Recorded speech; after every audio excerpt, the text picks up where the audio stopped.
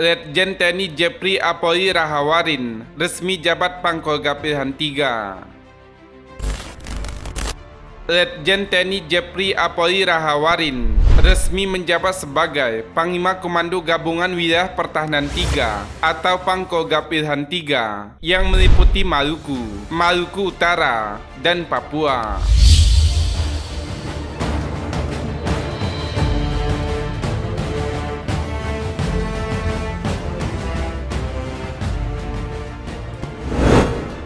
Hal ini ditandai dengan dilaksanakannya acara serah terima jabatan yang bertempat di Markas Besar TNI Cilangkap, Jakarta yang dipimpin langsung oleh Panglima TNI Marskal TNI Hadi Cahyanto Selasa 10 Agustus 2021.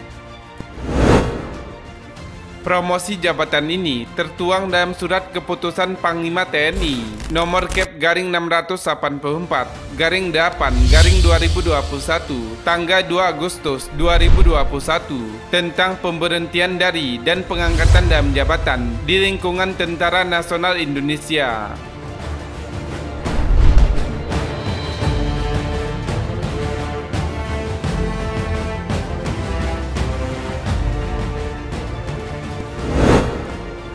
Kapendam 16 Patimura, Letkol Adi Prayoga, membenarkan hal itu bahwa saat ini Pangdam 16 Patimura, Letjen TNI Jepri Rahawarin resmi menjabat sebagai Pangkolga Pilihan 3 menggantikan Letjen TNI Agus Rohman yang saat ini menjabat sebagai Pati di Mabes TNI Angkatan Darat dan rangka pensiun.